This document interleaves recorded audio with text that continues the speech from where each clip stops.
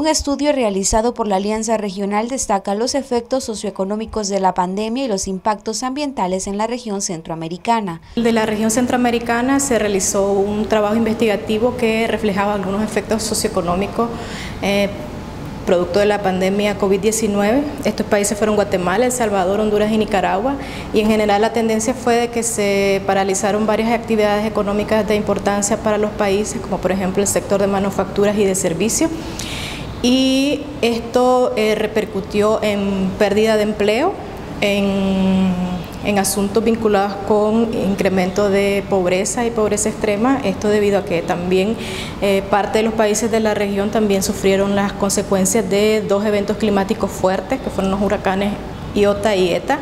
y lo que significó la pérdida de, vidas humanas, pérdida de medios de subsistencia, eh, pérdida de viviendas y esto pues ha incidido en que eh, las personas o, las poblaciones pues hayan sido afectadas y eh, especialmente con el tema de la, de la, inseguridad alimentaria, o sea, medios, medios de vida que, se perdieron, cosechas que se perdieron, afectó a estas poblaciones. Concluyen que todas las naciones fueron afectadas económicamente por la pandemia y que en el caso de Nicaragua pudo sostenerse gracias a las remesas que ingresaron al país. Bien, en general eh, todos los países sufrieron consecuencias bastante negativas en, la parte socioeconómica, como mencionaba también el asunto de, que la región en particular este, depende mucho del mercado informal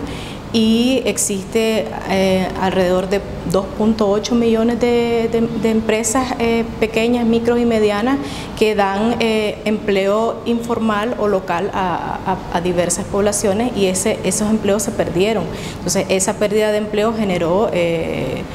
que no se tuvieran los ingresos necesarios, aunque también en, la región se evidenció que eh, las economías se, sostuvieron a raíz de las remesas familiares y Nicaragua fue uno de los países que tuvo un repunte bastante eh,